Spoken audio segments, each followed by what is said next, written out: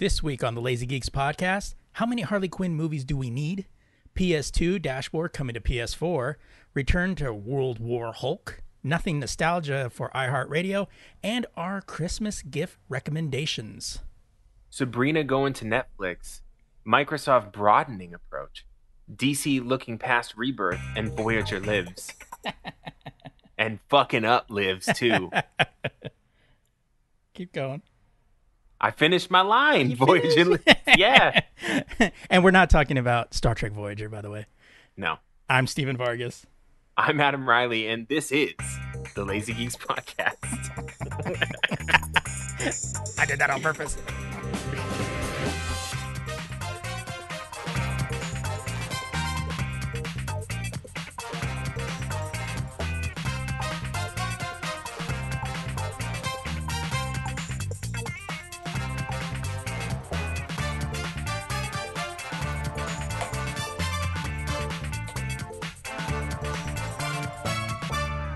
Welcome to the Lazy Geeks Podcast, our weekly podcast that discusses top news from the world of entertainment, gaming, comics, and technology. This is for the week of December 5th, 2017.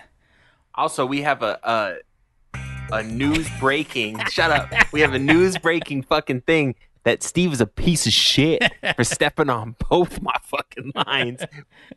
What was that? You know what? That's that's the show. Okay. Good night. oh man. So, um welcome everybody. This is our first show since our Thanksgiving break. Hope you guys checked out last week's rewind. Uh that was a little crazy of a rewind. I listened to that shit twice, Shit. I'm listening to and then it. I look stupid as fuck because I'm laughing my ass off, right? Right. And people are like, "What are you listening to?" I'm like, "A podcast." Like, what podcast? Like, my podcast. Like, are you making yourself laugh? and I go, "But yeah, but it's like me from like six years ago." right. So it's like a different person. And they're like, uh huh, you're crazy.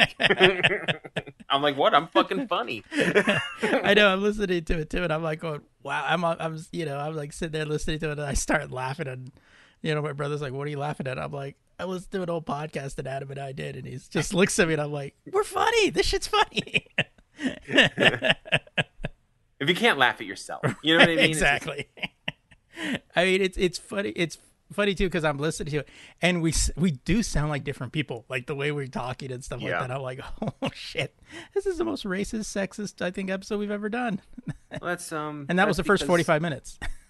That's because the world has uh Has changed since, has kicked us in the ass a little bit more, you know? right? We sounded so more optimistic back then. right. And just outraged by things. And now it's like, what are you gonna do? yeah, You know what I mean? After seven years of doing this, you're kind of like, all right, whatever. it's just gonna happen again. So why cry about it? Exactly. it is funny though when you listen to the rewinds and you're kind of like, wow, we're still kind of talking about the same shit, you know, except for Christina Aguilera getting arrested, you know, but um, for being a passenger. I know, that was so stupid. but you know, hey, that's that's that's uh that's life in the podcasting. But world, back I then, guess. back then, I thought she got arrested for being fucking hot. God, she was so hot. I mean, she's still attractive. You know, she's just older. But I mean, when I was younger and she was younger, I was like, oh, when you when she was genie in a bottle. Past that. I'm talking dirty. You know what I'm talking about? Too dirty to clean my act up. Jeez.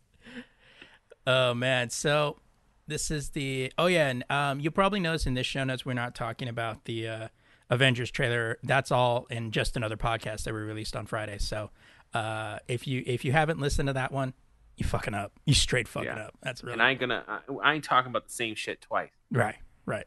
Even We though say- I do that constantly, but you know, We save that for the rewinds. that's right. Uh, so we finally hit that uh, holiday haul.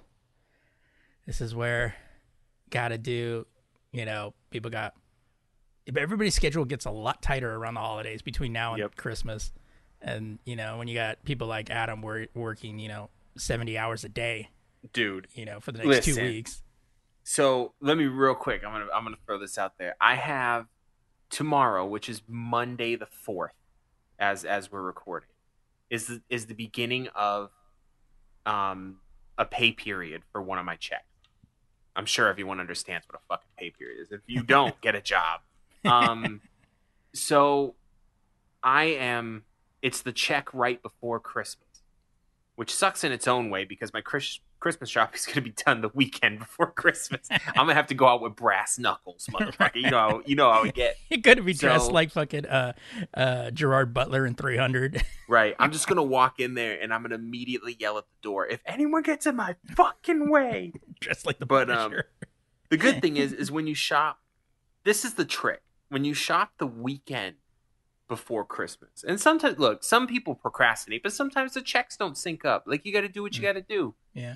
Um, I, I also probably could have hustled in November on the overtime, but whatever. Um, never go looking for a specific thing. Just know what the people you're buying for like, like their characters that they like or whatever, and then get something that syncs with that. If you're not going to find that hot new toy, you'll be fine.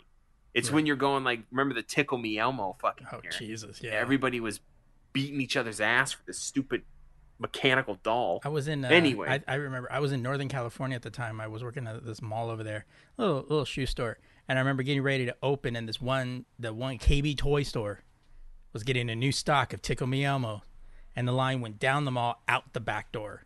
Yeah. I'm like, fuck you, people, man. Punch a Tickle Me Elmo in the face. Yeah. So what I'm doing, this is my plan on my pay period. I'm working 12 hours a day and 8 hours on Saturday. Which is roughly, not exactly, but roughly 70 hours a week. I'm ending this with a 3-day weekend, which is good. And and But- prob- and probably just sleeping straight through. right. So I'm going to be hustling this fucking overtime. So those I'm of you that listen, that, those of you that those of you that are listening to the show, by the way, you be able to to measure Adam's temperament over the next two shows. No, you'll be able to measure my sanity. You know what's funny is it's really not that difficult now. It used to be more difficult because of the job I had was much higher stress. But I'm in a new position now where I pretty much just put my headphones on all day and I just do my work. It's a more complicated job, but I know how to do it and no one bothers me. So it's kind of cool. I, I watch fucking Netflix. You know, I got the unlimited on the phone, of course. You know, so we watch Netflix, YouTube, whatever, and I'm kind of just chilling. Pornhub Premium. right? So I'm kind of just chilling while I'm working, listening to podcasts, music, whatever. So it's not going to be as bad. I'll be tired, but I won't be like fuck this fucking bullshit. You know what I mean? I'm sure I will be at the end. Um, yeah, you, But I'll tell you, I'll tell you like this, and I don't I'm so shit. glad they make strict gun control laws. I'm gonna make, and I'm exempt on the taxes. My American listeners, you all already know, motherfucker. at least for now. At least for now. December, you you go exempt. We we don't fuck around. Okay. Actually, I've I've yeah I've been exempt since November. Um, we making money over here. Okay. But then I have the seven hundred dollar insurance thing that comes out every fucking check. That's fun. Well, at least for now, until that new uh, tax bill goes into. Yeah, then it'll be twelve hundred dollars a Yeah. check. Actually, I went to that calculator they put up, and it says I'm gonna save eight hundred dollars a year on taxes. No, it's Because weird of- because they said they were going to take out the child exemption, Well, that I'm not talking about that. Oh. I'm talking about um like just Um, straight. right. Yeah. And if they take out the child exemption, they can't take it out for this year. This year already fucking happened. Who knows? they be, they'll fuck me. I'll be owing the IRS some money. but uh, I don't know. I need to pay attention to the tax code now because I'm an adult. Uh, What are you gonna do? Yeah, what are you gonna do? Uh oh, um, uh, those of you that live in LA, I'm not sure if the if there are any more tickets available, but this last weekend at the West Beverly Theater out in um out in Hollywood, they released tickets for a Christmas Eve double feature, Die Hard and Die Hard Two, Nice. and uh, you know, the tickets were only eight bucks, and with their you know online fee, it came out to like nine dollars and thirty six cents for a double feature. I'm like, fuck. I don't remember the last time I ever paid that. Uh, so Patrick and I are both going. Um, because we were looking for a, a, a Die Hard Lethal Weapon combo, but we're like, ah, this is close enough. It's basically the same movie twice, so um, so we thought that'll be that'll be a cool little thing. So it's like six six p.m. on Christmas Eve. It'll be out at about like about 11, 11.30. So I got tickets for that, so that should be fun, and uh, always good to see Die Hard with Patrick. Nice. And I haven't Yeah, seen that's good I haven't movie. seen Die Hard two on the big screen skin, since like it came out, so that should be interesting. I just uh, I bought for ten bucks Christmas Vacation. Watch that shit. I love that fucking.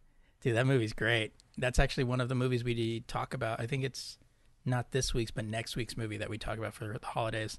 Um, oh, I told Adam and, and uh, on this, and I never saw Home Alone Yeah, Like- that's weird. up until Saturday because we're we're finishing up the tree. If you if you follow my my Instagram, you'll see like I uh, we finished up our tree. I put up a lot of my Doctor Who, Star Trek, Marvel, um, Peanuts ornaments up, but I never saw Home Alone because when the time it came out, I was in high school when the original movie came out. And it was just like everybody was talking about. it. I was like, going, I don't want to see that kid like because I've seen some of his other movies and he was just like you know the little obnoxious kind of kid. So I never saw it, and up until Saturday I never saw it. And, I'm, and I like to put Christmas stuff on when I'm when I'm, you know, decorating the tree. So I thought, yeah, it just started. I might as well. And my brother Right. was kind of like the same thing, like, eh, all right, put it on. And then by the end I was like, yeah, that movie's cool. I like that movie. It, it just it you know I mean of course you have Joe Pesci doing his hardest not to sound like he's off, off the set of Goodfellas, you know. Because we were we were cracking up because my brother's like, "Is this edited?" I'm like, "No, this is on cable." He goes, "Oh," and I go, "Well, this was a kids movie." I go, "Otherwise, we would have heard him like a fucking little cocksucker. I'm gonna fucking you know." And he'd take a mallet and like bash his head in right on there. Right. And um, but we were like, I was like, going, oh wow, that was really cool. I actually really liked that movie. So I got it for eight bucks at Target the other day to add it to my Christmas collection. I was like, I, I, I don't know. It just was one of those where I was like, oh, he actually played a kid, a responsible kid, like a, a total fantasy kid. You know, he went he went grocery shopping. He did the dishes. You know, he did all that stuff by himself. I'm like, man, that fucker lives better than I do, and I'm an adult. I'm just sitting in the house eating fucking uh Cheetos and shit. eating Cheetos. Like, man, I mean, I should get food, but like, there's a marathon on right now. It's just stupid shit. Oh, but see, I I'd go do it, but I, I want to pause the movie, but my the remote control's on the couch and I'm on the recliner. And, ah, like I would. I have the, I have the remote, but the Cheeto cheese is all over my hand. right.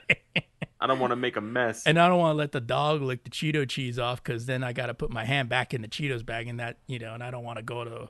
That's just gross. They say a dog's mouth is cleaner than a human's, but still, you know what I mean? Like, But that dude licks his balls, and you know, yeah. I don't. I mean, so do Yeah. I. But wait, what? I mean, he licks mine too, but wait, what? Only when I get the peanut butter out. oh shit! oh man all right so our main story this week is going to be about our christmas list recommendations for those of you we do this every year give you a couple items that we think uh, you guys might uh, you might dig but um, before that we'll go ahead and hit some headlines so in entertainment news this week how many fucking harley quinn spin-off movies do we need All of them. so we already know she's signed up for Suicide Squad 2. Then, of course, she had a. She was supposed to be spearheading a Gotham si- City Sirens, where she was supposed to produce and star, as well as signing on to uh, a uh, possible Harley Quinn Joker movie. But now we're hearing that there's a third Harley Quinn movie in the works. I guess this is going to be. That's why there's going to be no more Justice League, probably because they're all going to be Harley Quinn movies. But in a um, in an interview with, uh, I think it was yeah, Collider. Quote. I've been working on it for two years now. It's hard to talk about it because all this stuff is under lock and key. But no, I've been working on a separate spin off Harley thing for a while now, not Sirens. It's a totally separate one yeah, there's going to be there's a lot going on right now, and I honestly don't think anyone knows what's going to be next to hap- next thing to happen. But I think everyone's keen on um, to get Harley back on the screen, so everybody's working on different versions of what that could be. So, um, yeah. So apparently, there's going to probably be another, you know, Harley Quinn movie that's supposed to come out. I I, I really don't think we need three of them. They're gonna run Harley Quinn ground. They're going to be the Activision of Harley in regards to Harley Quinn, you know. People, people, people. In a few years, people are gonna go. Remember when people liked Harley Quinn? I see her one more fucking time, and I swear to God, You know, everybody's gonna be like, you know what? I'm gonna go watch the animated series. to Yeah. Harley Quinn. I'm going back to the source, man. Fuck this shit. and there's that one Google. Yeah, I'm gonna read a out of the comic. No, motherfucker, the source was the animated series. Get your life right. They're getting blades out and shit. Like, oh fuck. These motherfuckers are on that real shit. I don't want to come to Comic Con no more. I know. Yeah, I know. It's straight out of Insane Comic Con. Oh man, but I'm like, yeah, they're gonna. They're, I well, let's let's see if any of these even come to fruition. I mean, yeah, that's the thing is they could be writing scripts or treatments or whatever, and then nothing happens. And Like, plus, be- what what's gonna happen with Warner Brothers? I mean, if they get sold to AT and T, I mean, they still gonna they're still gonna pursue it, or what's gonna happen? You know. Yeah, who knows? I wouldn't be surprised if Warner Bros. was like, just write all the treatments, and then I want to see it, and then hmm. I'll pick one. You know, that's basically what they're doing. I think that's I picked more. this one. Um, that's the animated series. Well, fuck it, we'll do it again. It's like I pick this one. That's the animated series. I know what choice I fucking made. Okay. All right then. You just see him with a fucking Harley Quinn T-shirt, but it's the original one. right. He's like, I know what I fucking said. Who's writing the checks around here, motherfucker? You new? You brand new? So, ladies and gentlemen, I'm trying to do this like the reading thing that they do, and it always fucks it up. Okay. Like you know how Edge has that reading mode where it takes all Oh, the yeah. pictures off. Um, so Netflix has picked up the Sabrina the Teenage Witch horror series for two seasons after its previous development at the CW. Deadline reports the series will be inspired by the chilling adventures of Sabrina comic book of Oh, it, that's the title. The Chilling Adventures of Sabrina comic book and will be much darker than the 1996 Sabrina TV show I hope starring so. starring Melissa Joan Hart. Um, I had a crush on her. When I did too. Out, I. I did too. I was like, oh, Um, yeah. Instead, this new take will have a tone similar to The Exorcist, focusing on Sabrina's struggle uh, being half witch and half mortal. Yeah, I kind of heard about this series. I heard it was actually kind of dope. Um, Riverdale showrunner, oh, you already lost me. Roberto Aguirre Sacasa penned the script and is set to direct the untitled series, which I'm pretty sure will be titled Sabrina the Teenage Witch, or just Sabrina. Um, the two 10 episode seasons will reportedly be shot back to back, but a release date for the show is not yet known. Uh, Sacasa will also be executive producing along with Riverdale, Riverdale collaborators Lee Toland, Krieger, Greg Berlanti, Sarah Schreck, and Archie Comics CEO Jon Goldwater. The series was originally being developed for CW, where other Archie Comics show show Riverdale airs. It's currently unclear if this new Sabrina series will be set in the same universe as Riverdale. It won't be Yeah. well, now that Netflix has picked up the series instead of the CW. So here's the thing: just hearing who's involved and how many do- times Riverdale was said, it's basically going to be Riverdale with witchcraft. Well, that's what it was originally. I remember when they first talked about this, they said that this Sabrina was going to be, they were going to do like what's called a backdoor pilot.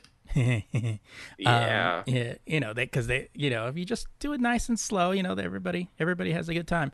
But um, they were supposed to do it as a, as a backdoor pilot for the CW, and it was going to essentially spin off from Riverdale. But going to Netflix, I kind of wonder what happened. Maybe they wanted to go a little bit a darker, little darker. a Yeah. little darker than I mean, because you think about you know supernatural and stuff like that. There's there there it's dark, but they have a lot of comedy to it. You know, a lot Well, of it's it's definitely it's definitely going to be very occult. yeah, You know, and I think on Netflix you can you can do a lot more with that than you can on the CW. Yeah. Um, the CW pretty much everything has to have a happy. You know, so I No, that's not true. It just has to have a lot of uh, melodramatic uh, romance stuff involved, yeah, and they all have to be Um, really pretty people. that's okay. I don't mind that. I know what reality looks like. You know, I don't need to watch that on TV. Um, I see that in it- the mirror every day. right. I'm searching for the man. No. Um. The uh. All I all I'm saying is if they make this show, if they don't have Melissa jo- Joan Hart guest appear just to say, well, this is all a little dark or something like that, they fucking up. Like it needs to happen. But I don't know. Maybe this can this can fill a little void that Constantine left. Hmm. Because I like occult shit. I, I I dig it. Like if it's done if it's done right Right. and it's not hokey. Like it's such a rich, um, like Christian occult and shit like that, and Wiccan stuff and all that. It's it's really rich in fucking shit that you can do, you know. So let's let's have her fight some demons. yeah. Suddenly, it's got to be something straight out. You'll be like, going, "Oh shit, she's bisexual. What, What? the fuck?" It could be the new Buffy the Vampire Slayer. Mm. You never know. And I can't really talk too much shit about Riverdale because I've never seen it. It just looked dumb. And the only one I know who likes it is my 17 year old daughter. So I'm gonna guess on that assumption that it's not the show for me. right. I the only thing I watch on the CW is the DC shows. I don't watch anything else on the CW because I see everybody and I'm like going, "Oh, I'm supposed to believe that 20 year old hot chick is supposed to be a uh, Apache helicopter pilot in the military." Yeah, okay. Yes. listen, I, I actually defended the CW at work one time because I was like, listen, I don't like most stuff on the CW if it's not a comic book related thing. But they're not bad shows. They're just not for me. They're made for someone else. They're made for teenagers. They're made for people who still think like teenagers. People who like that melodramatic shit. People who like teenagers, what? What? I mean, even the even the comic book shows are, are on CW are, are, can get melodramatic. It's Yeah. just the source material so much better that you can overlook. it, right. You know, but some of them, the CW is a lot better than it used to be. Let me just say that. it used to be fucking Somebody trash. say. Fuck, don't even start. That was a travesty. Travesty. We're gonna have the whole Justice League, but Superman isn't gonna be Superman. Right. Oh man. Uh before we go down that road into our another to, into into well you can hear more about that on our Patreon. No, just kidding. Yeah. um, let's move on into gaming news. This comes from Polygon. For a little dose of PlayStation 2 nostalgia, Sony and uh, Truant Pixel are releasing a new legacy theme for PlayStation 4 that invokes fond memories of its best selling console. The legacy dashboard theme will be released on December 6th for the PlayStation 4, the same day as the three Jak and Daxter PS2 classics hit the system. The theme costs $2.99, and it, it's clear that it's a great deal to, of work went into recreating the PlayStation 2 menu backgrounds authentically. Developer Truant Pixel said it spent the past two years developing prototypes mimicking the PS2 dashboard and fully recre- and fully recreated the console's memorable boot sequence.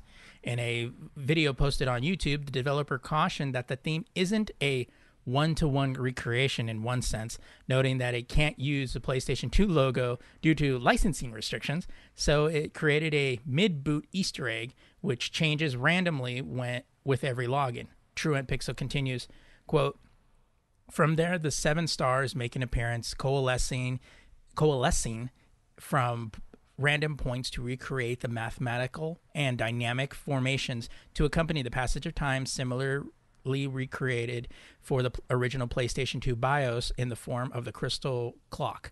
Color shifting is now controlled via user input. The subtle shifts are in partic- in particle speed and behavior. Additionally, original audio has been taken from the PlayStation 2 hardware and recreated in the background, ambiance, and custom keynotes for this theme. Uh, Truant dashboard theme is for PlayStation 2 is designed to support 1080p, 4K, and OLED displays, Truant said. You can compare the developer's work to the original PlayStation 2 dashboard, and you'll be able to see that on Um, we have this link in the show notes for on the uh, Lazy Geeks. It's pretty cool. I was like, going, oh, that's kind of cool. I mean, It kind of reminds me of um, when Sony did still, I think, one of the best video game commercials I've ever seen, where it was like it was in London because it was a London skyline, and you went through this whole like these. There was so much going on. Like there was these kids, and they were playing original PlayStation. Then they grew up PS2, college kids PS3, adults PS4, and in the background, the London skyline kept getting like more advanced oh wow, at the same time. It was so good, man. If you if you guys haven't seen that commercial, you got to look it up. It was so good. Um, but yeah, I mean, play on that nostalgia. Yeah. You sell tickets. You know what I mean? exactly. So moving on to a superior, I mean, a different console. no, just play it. Um, this is a really vague thing, but I thought it was Well, interesting. it comes from Microsoft. Um, of course, it's going to be vague. right. Microsoft has announced that it's broadening its approach in the gaming market. CEO Satya Nadella um, announced the company's ambitions in the gaming space during Microsoft's annual meeting of shareholders. Uh, this is via DualShockers. Quote, we're mobilizing to pursue an expansive opportunity in the 100 plus billion gaming market, said Nadella. This means broadening our approach to how we think about gaming to end, about starting with games and how they're created and distri- distributed and how they're played and viewed. Nadella went on to reference services Game Pass and Mixer as a as a means to promote connectivity among its hardware, and said Microsoft plans to grow and engage the over 53 million Xbox Live members more deeply and frequently. Did her in a movie first, Nadella, calm down. He also mentioned the Xbox One X is seeing incredible response from fans this holiday season. It really has too. I was looking at the, the height, dude, is so big for this fucking console. Not not so much for the other one, but this one is pretty hyped up. Um, if you just picked up an uh, fuck you, that's that's extra shit that don't matter. So, um, broadening approach. I kind of think they're talking about more digital distribution, like a focus on that. And honestly, I think it's time. I think I think it really is time that they really start pushing that because people are a little bit more comfortable with it now. I mean, half of the games I own on the console are digital. Yeah, there's You know, it- and it's funny because I listened to um, I listened to this podcast, uh, gaming podcast, and uh, they're they actually talk about some. Uh, what's the podcast? Real quick, I'm just looking this up real quick. Um, do do do do do do. Oh, kind of funny, kind of funny Gamecast, Mhm. and uh, most of those guys used to work for IGN and left and went and started their own their own deal but they had um, a marketing director for Xbox on there, and he spoke about Xbox in a way that I haven't heard anybody from Xbox actually say it. And I was gonna, I, that's the whole reason why I was gonna save some of that for the uh, Christmas recommendations because it it, it kind of coincides with why I, I recommend um, something. But yeah, it, it I've heard that before, and um, when I when I kind of heard all the stuff that they had done, it makes me like, oh, okay, I see where they're gonna go. Right. You know, it kind of i mean to me like i was talking about this recently with a couple of friends and one of them was against digital he's like i like to own a copy i'm like but you really don't anymore the disc is just a key yeah. so now it's one extra fucking thing you have to do to get the game to start Well, yeah, and, You know, and there were some people that still do that. Like Patrick does it. Patrick likes to have it, even though the PlayStation Four is still the same thing. You like it's, it's just a key to get into Yeah. the system. But there is some. I get it though. I mean, there is something about physically owning it because, you know, and we talked about this way back. Was like digital. it- It's like you own it, but you kind of don't. I think there's Right. just there's just something tangible about physically owning it. I mean, I still fucking buy Blu-rays, even though I don't need to. I can just buy shit on Vudu or whatever. But in the end, it's like, well, whatever happens, what happens if Vudu goes under, you know, or you know, you know, Amazon or something like that. You know, it's like, yeah, we think about it now, like, yeah, it couldn't be, but you know what? They said that about banks a couple years ago. Yeah, it's true. So you know, anything's possible. But I, I, but at the same time, it's like, yeah, I, I do get it. But the same thing is like, you know, you buy digital, but yeah, your hard drive crashes. You don't lose the games; they still are in your queue, and you can re-download them. But I kind of get it. Yeah, some people, and and there's nothing wrong with that. Like I respect the fact that some people really want something tangible on their shelf or whatever. I think certain Um, games deserve that. Oh yeah, and I mean, I used to be that way. I used to be very strict, but now, I mean, You got kids. I don't know. I got kids. Like all the, I buy a lot of movies from Vudu. Vudu has some sick deals, especially on kids' movies. And then if I buy Blu-rays, what are they gonna do? Fucking scratch them? You know, there, there's just, it just doesn't matter to me Yeah. anymore. You know, and then so many of the games that we do have are the ones they gave away for free, and they're not really emailing or fucking mailing me the disc Right. you know so it doesn't really matter um and also i think the the gamers that are a little more receptive to this this kind of distribution are are people who do some pc gaming because pc's been like this for a long time yeah. you know like everyone buys their games through steam you know and and you just don't even give a fuck and i come from that background a lot of heavy pc gaming so when when um xbox and playstation started doing it i was kind of like okay you know i mean it, this is just we're moving towards that um i didn't like how uh, Microsoft was strong arming me in the beginning, but they changed their they changed their tune a little bit. You know, Well, so that was that was um, the that was the Ballmer legacy was you know twisting your arm till it comes off to do that. and then there are some benefits to digital distribution. Like one of the things is indie game development has Yeah. skyrocketed. Oh yeah. You know, because these companies are small. They some of these, some of these companies they got like eight people working on the game. Like they can't afford to ship it, Yeah. you know, to somewhere. So they they just throw it up on the store, and even that has a cost too. But um, Well, shit. When even nowadays, when people review games and stuff like that, they're just giving codes. Yeah. Yeah. They're not giving physical games anymore. they don't even give you demo discs in the magazines anymore. Yeah. I kind of miss that. I know. I kind of do too. When you open up your PlayStation, like when I, uh, well, like um, when Patrick and I were talking on one of the other shows, uh, we cracked up because when he got his PlayStation 2, we had um, the demo. Uh, you, you always used to get those demo game discs, and it had Dynasty Warriors, SSX. I think it had something else on there, and we played the shit out of those demos. You know, and it was just like going, I miss those, miss those days where you used to get. Yeah, the, now now the the new demo is your bootleg. yeah, And then if you if you like it, you go buy it. right. Um, but yeah, I mean, it is what it is. There's gonna be people that are gonna be like, "Fuck this shit." But you know what? One thing I thought about it probably won't happen, but I would really be interested to see Microsoft make a handheld device. I really would. And I don't think it would happen, Mm-mm. of course, but it would be um, it would be interesting. They probably will make a stronger um, showing on uh, mobile devices yeah, because they were doing that with the Windows Phone, but then no one bought the Windows Phone. right. so they'll probably just like their other apps and services. They'll They'll, probably just start start, doing- moving them to Android. They'll probably start doing what Nintendo's doing. Yeah, and Nintendo's making money, man. Like so, it is what it is.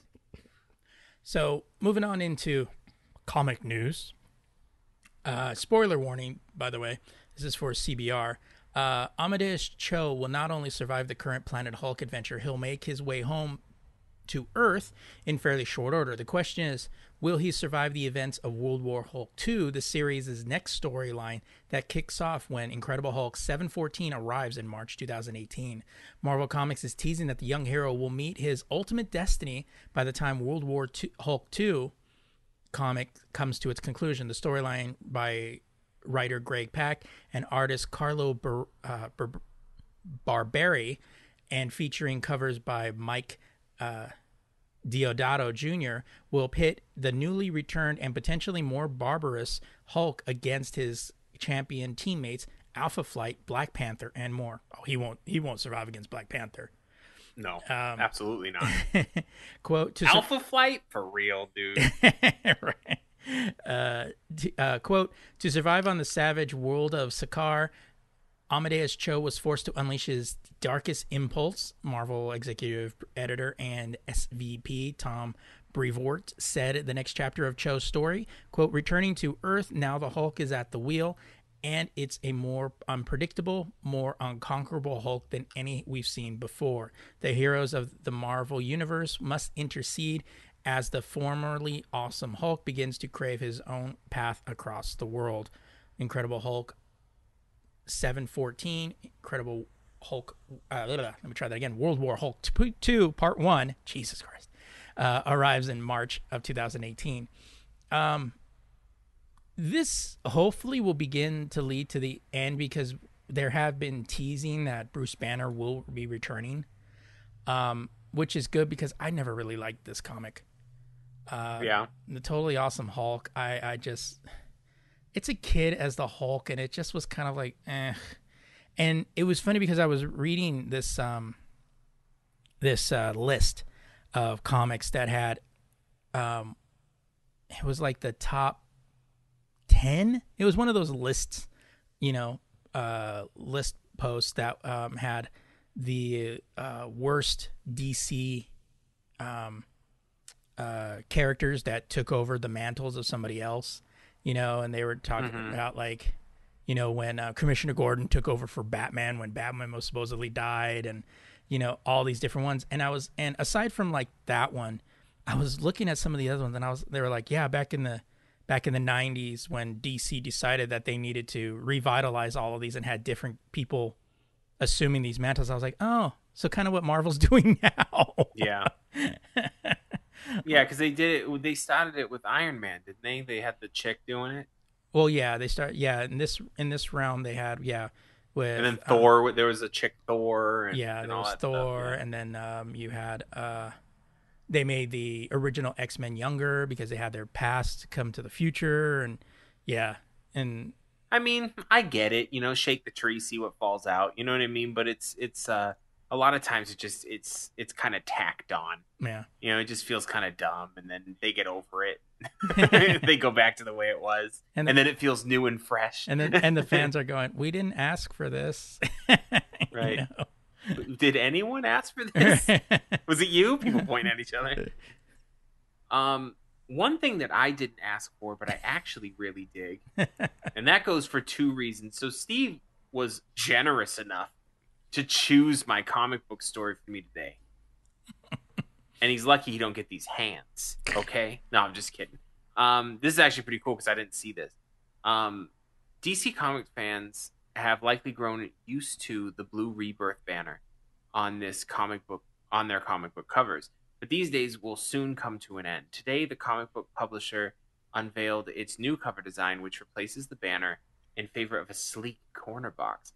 Um, the corner box will provide information about the issue number, price, and rating. Each box will also feature the emblem of the starring hero or superhero group. So, Superman comics will sport his iconic S, Batman comics will be displayed in a telltale bat symbol, and Green Arrow will get, well, an arrow. Um, the new cover design will replace the Rebirth banner much in the same way it replaced the New 52 Initiatives banner. DC Rebirth was first introduced in 2016 as a way for DC Comics to enact a continuity. Ugh, I hate that Continuity? word. Continuity. I always want to say continue, and then I, I get halfway through and go fuck. Continuity Rebirth that incorporated elements of the New 52 but reset the world of DC Comics back to the point prior to the Flashpoint arc. Um, I over enunciated everything. in that sentence. the end of DC Rebirth will usher in a new era called DC Universe, an expansive new initiative that will feed off the events of Rebirth and retain its continuity going forward. I'm gonna tell you like this: two reasons why I dig the new look. One, it's cleaner. yeah Um, and two, it looks like back in the day, dude. Like these look like '80s comics. Yeah, I you just had the corner box. It has the price and the number, but I really dig that. That I, it's so simple, but I dig that little. It's the symbol of who the comic is about. And I, I- just dig it. and it, it was funny the reason why I, I i because i wanted to do this and i wanted to do the hulk one then i thought well you know usually a lot of times you kind of you you don't you know you you'll you'll miss things that i don't on, on some of these comic sites. And i thought this was cool because i thought this harkened back to when we used to sit there and go like okay the new 52 it's five years now. It's not that new anymore you know? Yeah, like get over it. and I like this though because another reason too that I think this is a, a big deal for me is that every time I see a comic that has something big on the top, like New Fifty Two or whatever, it always feels like a temporary thing. yeah And now this feels permanent. Like we're we're gonna see this for a, a long time. right You know what I mean? And it, it's just clean. Like it just looks nice. Yeah, I mean, it, Dig it. it's been like what two years now. It's it's time to get over the rebirth. Now it's like they've moved their arc. We're going to have the Doomsday Clock, and it, to me, it just seems like it's going to come after Doomsday Clock. You know, Yeah. as, as we get into that, and and then we start seeing that. I think it looks cleaner. I thought I I liked the look of it, so I was Yeah. like, I'm I'm I'm excited for the when that when they start appearing that way. And the symbols are so simple, but they just look sexy. Mm. You know what I mean? Like sexy. Skate, skate, skate, skate. Gotta go buy a go drive uh, go buy a comic book store and get a partial. You know. Right. Get that mellow mushroom, bro. and that was a pizza place. I was like, ah, shit. yeah. And if any fans actually live near what's called a mellow mushroom, let them know you heard it from us. That's right. Tell the world. All right, moving on into technology news. Uh, on the heels of Cumul- uh, Cumulus filing for bankruptcy this week, a bigger player in the storm-tossed radio sector, iHeartMedia, could be also be headed towards Chapter 11. Uh, Deadline is reporting the struggling all year to refinance more than 15 billion in debt. iHeart, which is led by original MTV and then AOL uh, exec Bob Pittman, is uh, its proposal to restructure the debt and surrender more than 87% of the equity in the company was rejected. Creditors, led by mutual fund firm Franklin Resources, are pushing instead for greater control, and one scenario would involve a Chapter 11 bankruptcy filing, according to a SEC filing Tuesday. The struggle, the struggles followed the decision by CBS to sell off its radio unit last month. Its deal with Entercom, which became the number two radio operator as a result. The move sh- shows the rip currents destabilizing all forms of traditional media, from print publishing to broadcasting, with so much music available digitally and often commercial free, radio is seen as a less essential part of consumers' daily diet, though it remains a superior tool for discovering artists compared with streaming. iHeart iHeart's willingness to go to 87% is a departure from the, its stance in October when it revealed a term sheet offering creditors more than 49% in the company's overall radio business and 70% of iHeart's stake in outdoor ad firm Clear Channel Outdoor. iHeart controls almost 90% of Clear Channel. Um, of all the streaming things, I think iHeart Radio was probably the weakest of everything Yeah. because It's been around for a long time, though. it's been around for a long time, but at, at this point, you got Spotify, Pandora, Amazon Music, um, Google Play. Google Music. Play Music. You know, every uh, That's the one I use. i I'm actually digging my it. My toaster has its own uh, music app. You know, and and you can listen to anything, and and even let's just even go a step further. If you have an iPod or you know an iPhone, you have your own music on there. Podcasts. You know, it's Well, then even the streaming apps too. They have curated stations based on the music that you listen to. right. Like Google Play is actually pretty dope. Um, where and I I've using this a lot. Where it will, depending on what I'm doing, because it's linked in Google. Like if I'm on the train, it will go commute. Like there's a commute mix, and and you'll click on it, and there'll be like four choices. One's like upbeat hip hop, and one's like feel good pop. They pretty much think we're all depressed on the train. Well, So- aren't you? right. so, but it, it's it's actually the funny thing is it's pretty spot fucking on. yeah. Like it, it it's giving me music. It very rarely gives me music that I'm like ugh, and then I just put fucking downvote and I'll never hear that song again. Yeah. You know, so iHeartRadio's kind of harkens back to a more old school feel when streaming music was more like radio. Yeah. And you know, the the thing is is like, you know, when you listen to things like uh Spotify or even Pandora, you know, you're listening to music and then you after like half hour, 45 minutes, then you get like one one commercial. And then it's Right. and then you don't hear it again.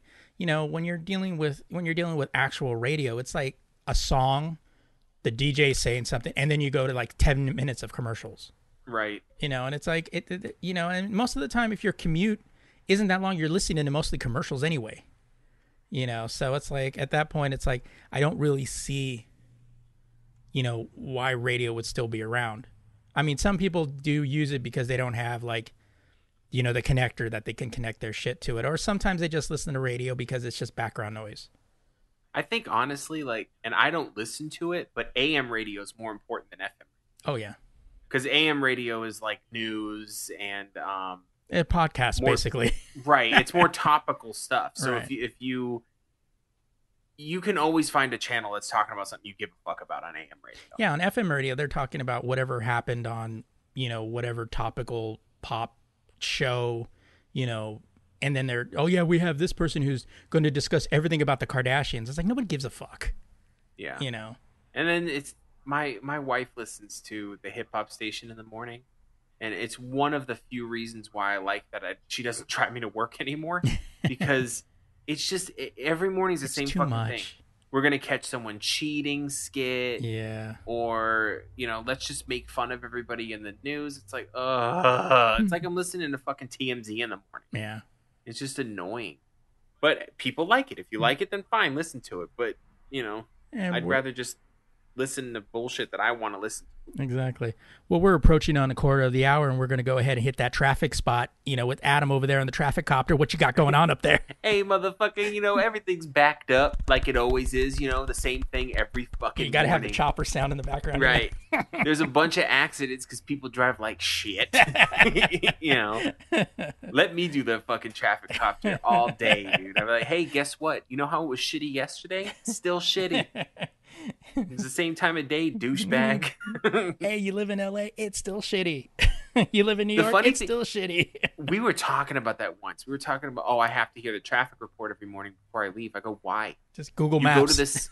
I was like, no. I said you go to the same destination every day at the same time. You're gonna have to go anyway. Right. And they're like, well, I need to know if I'm if I'm gonna make it on time. I'm like, you should be arriving half an hour early every day. That way you have buffer time. I was like, oh, I'm sorry. Is that a little too East Coast for you? Like these motherfuckers are showing up on the dot if they're lucky right. or late. Like I, I love on the on the West Coast is the only place where you'll find this shit. At least they didn't have it when I left. Um, but it's like, oh, you have a 15 minute grace period. And I'm like, why? and they're like, oh, just in you know, because if you're gonna be late. And I go, but no, that doesn't make any sense. So that just means everyone shows up 15 minutes late. That's all that means. That's not every place. eh, Not every place does that. No, it depends on where you work. Cause Yeah. like we're I work at a um a big bank. Like I don't work at a like an actual bank, but I work with the bank, and um, you can be you can be 15 minutes late, but if you do it consistently, you're gonna get talked to, because people get talked to almost at least every week. I see at least one person getting pulled in an office because they're late all the time. I'm like, why is it so fucking difficult for you to get to work? Well, I don't have Like- to be. I mean, I can be 15 minutes late, so I got extra 15 minutes. Is how they and it's always it's always the fucking same answer too. It's like, well, there was traffic, and then I'm like, you should be leaving earlier. Yeah. Stop being so fucking lazy. And then no one can beat me because I take the bus and the train to work. Yeah. So like, well, I have to wake up a half an hour before I leave. I'm like, really? Because I leave the house at six in the morning to make a nine o'clock shift. So, fuck you. Even and I get there an hour early. Overtime, bitches. so it's whatever. Um, this this bit of news, man, this, this was fucking dope, and I heard this on the real news, um, on the Unlike on the the fake news, but right, the New York Times. Um, NASA's Voyager One uh, has been drifting farther and farther away from our planet for the past 40 years. Now, the agency has ensured that it can maintain contact with the farthest spacecraft from Earth for at least two to three more years by waking up a set of backup thrusters it hasn't used since 1980. Voyager needs to rotate itself every so often so that its antenna points to our planet. It, or- it orients itself by firing several 10 millisecond puffs with its thrusters. Problem is, the one it regularly uses hasn't been performing as well after four decades in space. Since nobody can physically check the condition of a probe 13 billion million or 13 billion million, 13 billion miles away, the team first gathered experts to assess the situation. On November 28th, they finally test fired the backup thrusters, which worked perfectly and rotated the spacecraft just as well as the primary ones can. Todd, but well, I mean, they're the backup thrusters, aren't they supposed to do that? Well, yeah, but there's The, you know oh, the, the- the lifetime the- guarantee usually doesn't go for Right. 40 years. Todd Barber, one of the propulsion experts who looked at the issue closely, said that, quote, the Voyager team got more excited each time with each milestone in the thruster test. The mood was one of relief, joy, and incredible after witnesses these well rested thrusters pick up the baton as if no time had passed at all. Thanks to the successful test, Voyager will switch to the backup thrusters in January and will be able to beam data back to Earth a bit longer. The team might conduct a similar test with Voyager 2's backups to ensure it can also send data back after it follows its older sibling to inter- interstellar space in a few years' time. Yeah, because Voyager 1's the only thing we've ever built that's in interstellar space currently. Yeah. Um, so it's getting slightly odd readings. well, it needs to. It needs to because it needs to uh, eventually reach a black hole and then becomes V'ger and then comes back and then that's how we get Star Trek: The Motion Picture. Wasn't that Voyager six? Hey, you Hey. you can trust Voyager one. Hey, you- okay, you know, it's gonna happen. It's gonna happen. right? It's gonna happen. they just need to make three, four, and five, and then six is gonna go out. Right. No, um, but this is this was really cool. Like this Voyager one just is like the Energizer Bunny. Yeah, when I, I, I remember seeing this story, I figured you were gonna you were gonna pull this one, uh, and I, I remember seeing that uh, um, on the news, and I was like, "Holy shit!" I go, "Man, we don't make shit like that anymore." I was thinking that too. This is when Made in America meant something because those rockets were made by um something Rocketdyne Industries. Mhm. Like a, st- everything's American on that fucking. It has to be because of the time. And then I I, mean, might heard that be- they were going to uh, they were going to press the albums that were on the Voyager uh, on the uh, uh, uh, Voyager probe Oh, and yeah. release. I was like, going, "Oh, that that'd be kind of cool." I'd buy that shit, or at least download it. but yeah, I know it was like going, "Fuck, that thing is still fucking working." I remember that shit. I was like, "That's right, America. so dope. That's what needs to make America great Where's again." Voyager? Where's Voyager two? Um, I think it's at Risa right now. Getting a little R and R. Yeah. Where is Voyager two? Um,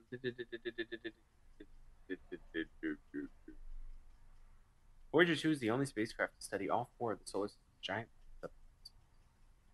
Uh, oh, I just want to know where it is. the last known they go the last known picture and you see it and there's a Borg drone on there. You're like, oh shit! Oh shit! Everybody, step their game up. Yeah, I don't like. You can't just give me a fucking map. Oh, here we go. No, that doesn't. that doesn't tell me shit. Whatever. I'm, Alright. I'm sure you can figure it out. All right. So, as I said earlier in the show, uh, every year we tend to do uh, Christmas recommendations. Always just some gift ideas, you know, based on either, you know, I guess you could say like uh, geek factor or just something that's cool or something really that's recommended at a good price, things along that line. So tonight our main story is going to be our Christmas recommendations.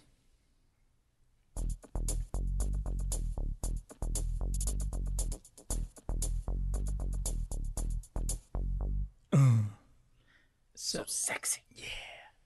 So, um, so we actually pulled together a list of five items. Not to say that that's the only five items, you know, but these were items that that we individually picked ourselves, and uh, thought that uh, they would be good recommendations for you know whatever for various people that you probably may be thinking about getting, even for yourself.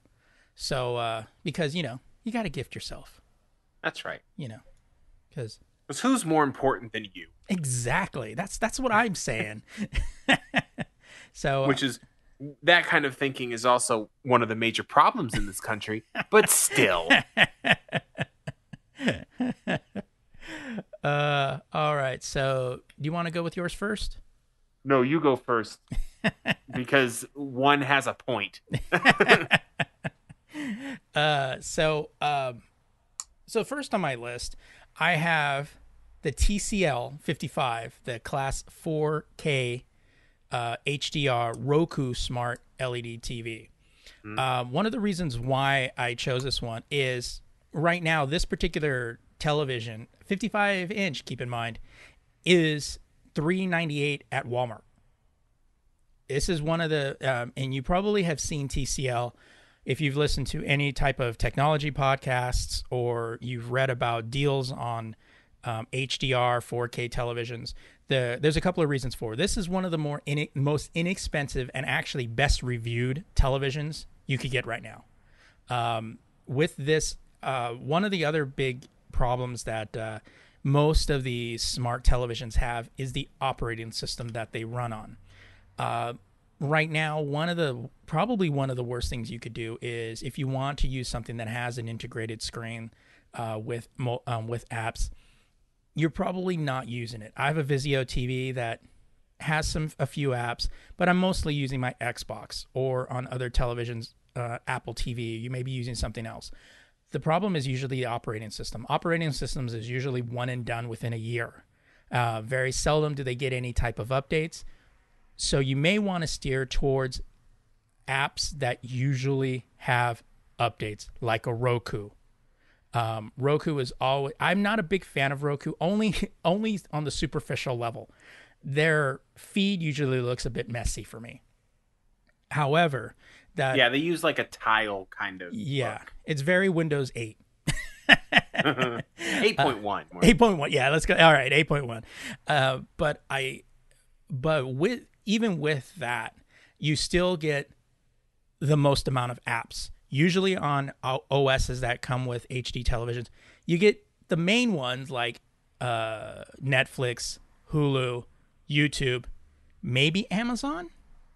that's kind of a give iffy, but at least with Roku, you're going to get pretty much almost everything that's out there right now. And Roku specific stuff too. yeah, that. they have yeah. some extra shit on it. Right.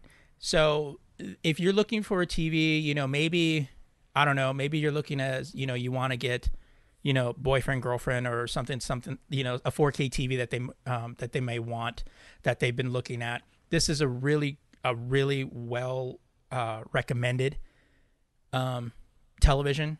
This particular model comes with 3 HDMI ports, which is very hard to come by. Yeah. Most of them you're you're getting one. But sometimes you get two I have three on my TV, and I still have to use a splitter on one of them because I put my PlayStation 3 and my Xbox 360 there. Yeah, but that's that's really but, a gamer issue. Like people no, who aren't that's everyone's like issue. Thing. That's everyone's no. issue. Stop it.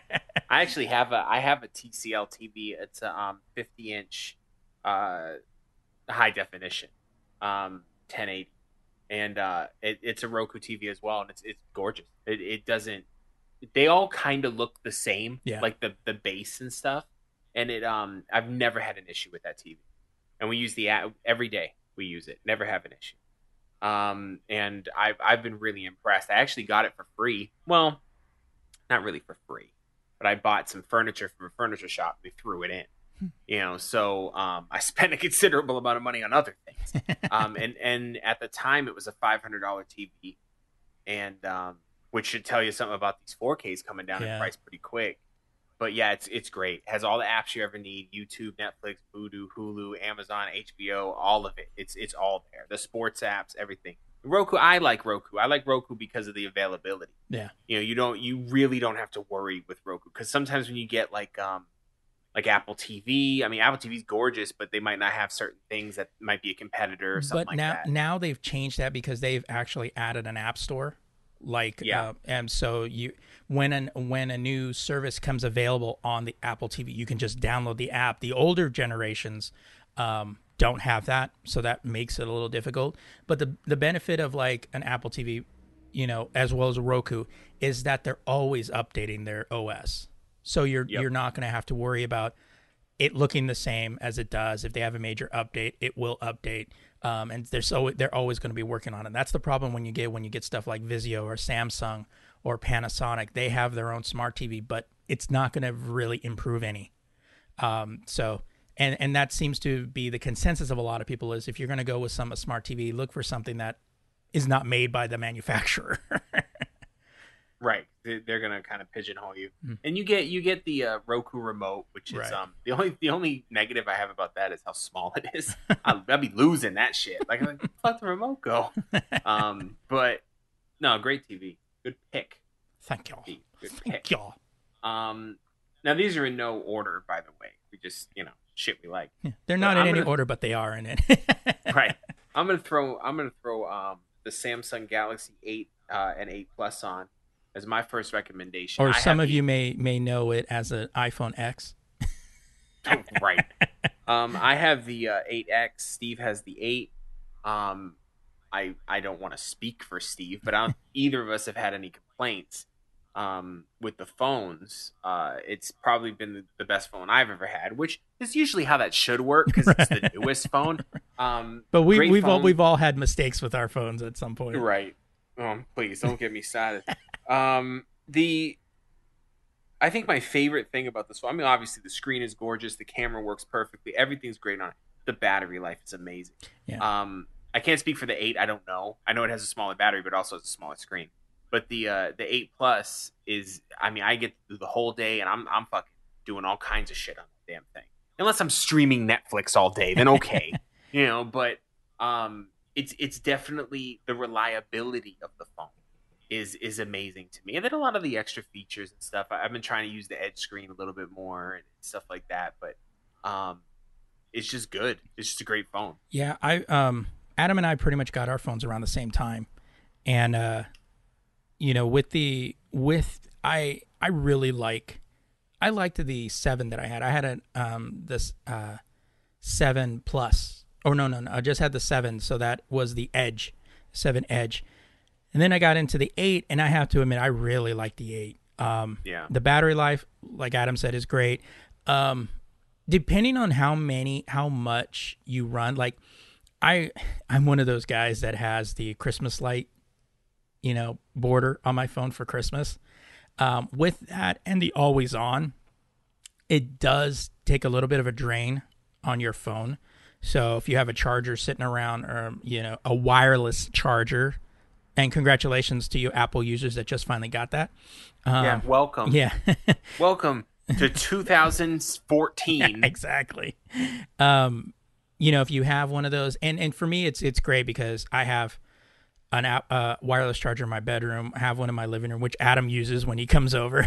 Fuck yeah. I'm excited to use it. I mean, let me drop my phone here real quick. and then he makes a big production. He sets it on and just waits for the bing. and then, then I then with a satisfied look and a nod, I go walk to my walk walk away. And then I'm picking it up every five seconds. Right. I want to use it. and um and also they they do use the uh, uh, USB C, which is so much better to use on these phones. Yeah, I- it's you don't have to position it a certain way. You can do it when too, you're half awake, you know, and it just it's just like pink. you drunk, fucking, like, you know what I mean? Like the charging alone too. I mean, if you're if you're using, fa- I use a fast charger, Yeah. not at work, but I use a fast charger here. I'm an hour, and and I think I'm at like full. Yeah, You know what I mean? Like it's it's intense for how big the battery is in the eight plus. Yeah. I mean, that's pretty amazing. and I also want to throw in just as a side note, um, I'm gonna throw the Note eight in there too, or the new Note, or whatever. Fucking is it the Note eight? Yeah. yeah. Um, because it's really just an eight plus with a stylus and a little bit So, bigger, and a little bit bigger. But, which my but- brother I think is going to end up getting the eight, the Note eight. yeah, my wife, my wife as well. Um, but yeah, I, I want to throw that in there in this group too because it's pretty much the same phone. It just has slightly different features. But um, One thing I also wanted to throw in there. This is on the accessory portion. Unlike Apple, where you have to have dongles for everything, uh, Samsung actually gives you an adapter cap. So if you do happen to just have one of those regular uh, USB mini connections, you can connect this port and it turns it into a USB C. yeah, And it's They give you two adapters. They give you the um, micro USB to US USB C, and then they give you the standard USB oh, right. USB um, C, which is which I haven't really used in any real way yet. But I did plug a keyboard into the fucking thing, and I was typing and shit. But you can use that. You can actually the OS supports it, where you can use that that um that adapter, Yeah. and you can plug in a USB drive. You know, like um, and I actually used that once. Actually, I'm I'm I'm fucking lying because I keep it in my bag. A buddy of mine's like, oh, you know, I got a little something for you or something. I'm like, oh, cool. And that's none of your business what he got for me, but he had a little something for me on the USB drive. And he's like, you gonna borrow it or what? And I said, no, hold up. And I just click, click, click, bam, drop that shit on my phone. Yeah, and one thing that um, because I'm I'm going to the uh, L.A. Auto Show uh, today, I guess when this podcast is being released, I'm going on Monday, and um, I'm I'm taking one of those uh, quick charges, you know, those little charge blocks. I got one free one time, so I was like, I can just connect that. Unlike these Apple people that just like to go find an open, you know, plug, I can actually just right onto that little uh, that little charger piece there, and Mhm. um, and it uh, it has the it's go- I can connect the little micro USB to the USB C and then just plug it right in there. So then everything's okay and everything's fine. So it, it, it really comes in handy if you're using that stuff or if somebody happens to hasn't upped their game and you need to kind of charge it on theirs or you forgot yours or what have you. Like, oh, I got the old one. Pop, pop that on there. You're good to go. Mm-hmm. So, um, really great device. I um, I like it a lot, and uh, and yeah, so it's it's just like, although oh, I'll the... also get a do get a case for it. Yeah, I I do maybe, and this is personal preference, but without a case, it just feels too thin. Remember how many times it slipped out of my pocket when I yeah. first got it because I didn't get a case. This like, we were at the theater, dude, and and and you just hear that clunk clunk, and all of us were wide eyed. He had just got that phone, and uh, it survived though. It's yeah. it, I don't even think it had a scuff on it, but um, I actually yeah, I dropped it earlier this week. I was I pulled it out of my pocket with my case, and it slipped right out of my hand, and it hit the ground, but it hit on the edge of the case, and I was looking, I go, man, it's just a case, and it because it did like a pop pop, but it hit the edges where the casing is, and I was like how is it that even with the case, iPhone users always crack the screen? Because iPhones are fragile. it's like, good lord, dude. Actually, speaking of screen, I need to get a screen protector, dude. I, I still don't have one. Neither. I mean, I baby the fuck out of my phone, mm and I have it in an OtterBox, but I don't have anything covering the screen. I like the screen protectors because they're not fingerprint magnets oh, like yeah. the screen is. You know, so they give a little bit of uh, texture to it. But anyway, that's my first suggestion. All right. So, my next suggestion, and this has kind of been one of those things where I'm just kind of like, well, you know, there's always that do you want should you get a PlayStation 4 Pro or should you get an Xbox One X? Um my personal and and keep in mind I've I've always been a PlayStation guy for a while for a long while. Um and you can you heard Adam and, and I talk about this before. Um but Xbox One, I believe, is a better system. Um, it is the strongest console you can get out there right now. I mean, of course, you know, it has 8 gigs flash memory, it has 1 terabyte internal storage, 12 uh, gigabytes GDDR5 at 326 gigs a second. Uh, yeah. Full 4K, because that's one of the big things. Like, one of the things, like, people go, well, why don't I just get a, an Xbox One S? it's not true 4K. And for that extra price, you can tell. so it's one of those things where if you have an Xbox One and you're thinking about getting an X, just fuck it, get the X. Don't get an S. Um, there's just no point because eventually you're gonna you're gonna you're gonna want to get that upscalability.